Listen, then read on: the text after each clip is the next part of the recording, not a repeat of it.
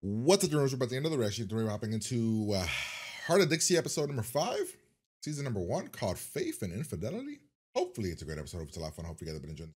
It. Have like, comment, and subscribe to the channel. Patreon for the full reaction uncut episode over there if you want them. If you don't, totally cool. You can get episodes here on YouTube whenever they show up. So, uh, previous episode, um, previous episode, we had the heat wave episode where everybody was doing crazy stuff because you know the heat wave is here and people didn't know how to act and it was all kinds of crazy shenanigans and it was pretty out there. Uh, but overall it was a pretty fun episode. Um, the case itself what was the case itself? It was about uh, the woman hailing like stuff from the car the fumes from the car and it was making her crazy. Um she almost slept with uh wade? Yeah she almost slept with wade. We have the stuff obviously with uh Scott Porter's character who George um and that whole situation where you know they're like friends but obviously Lemon's upset about it and then Lemon's obviously upset about um Lavon Hayes and his situation with the one girl so a lot of chaos. Uh but let's hop in here for a good time here we go.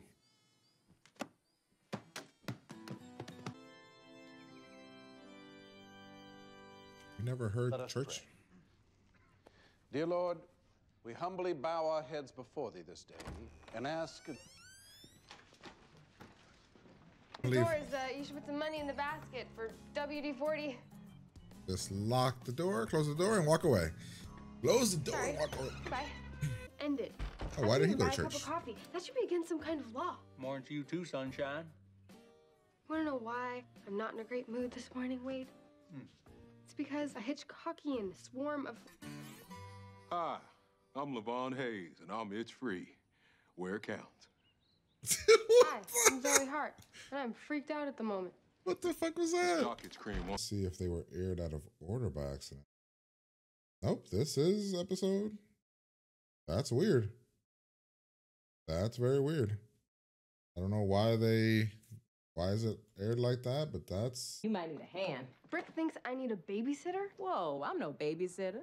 I'm a registered nurse with 15 years of experience, eight of which were here with Holly Last and Brick, episode, so I you, know like, this talked office like the back Mm. of my hand. So I believe the they are.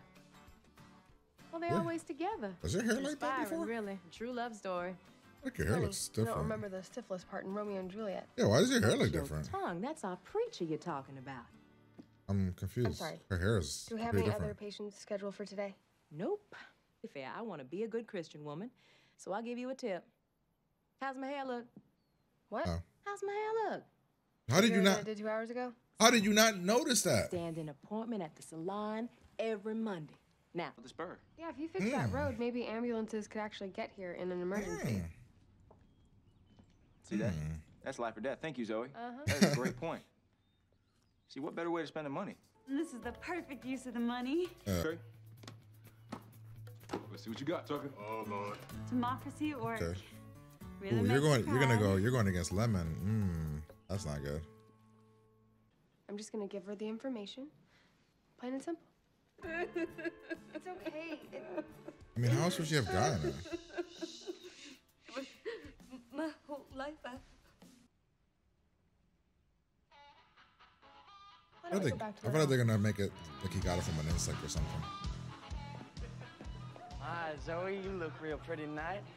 Thanks, Tom. You know, the guy you almost killed is fine, by the way. Thanks for asking. It wasn't his fault. What's happening? How is this thing spreading? Why is it spreading? Who told who? Why don't you just ask me what they're talking about? Because I don't care. an organization like the Memory Matrix. Control? We're throwing the word control out there? Okay. You know, my bedroom window overlooks the rectory, and for 15 years, not a It's my fault. Huh? I'm the reason the Mayfairs broke up. It was me.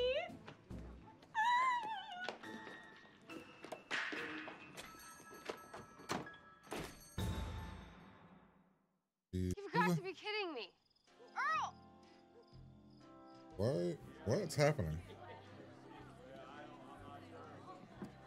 A long face, Mr. Mayor. Just got off the phone with my. This is fucking weird. I would I would think I'm in a like a cult town. Like what's happening? We're after the same rainbows. Just grab him his collar. Make his ass fall backwards. Around the bend. Hey, Dad. This is dad. I was right. Time to go home. Let's go.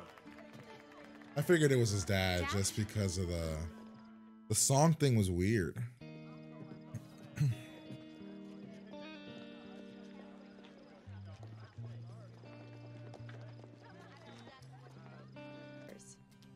I don't want to get anyone in trouble. Wanda, it's mm-hmm. important. I promise. Are you the gossipy?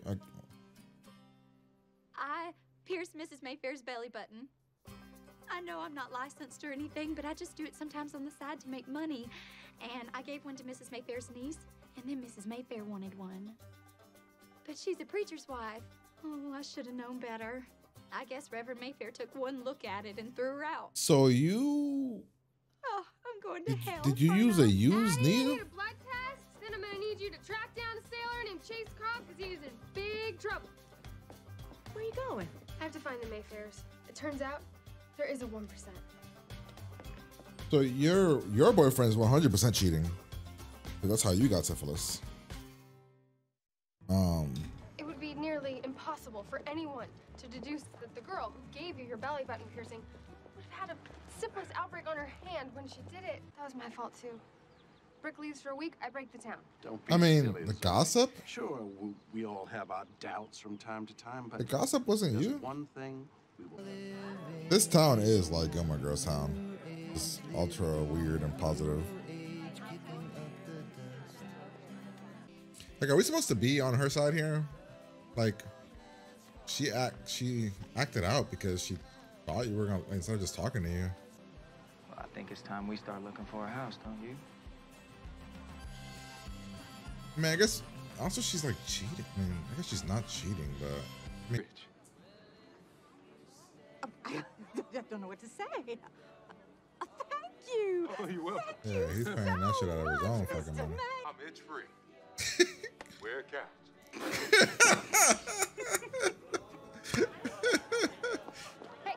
Evening.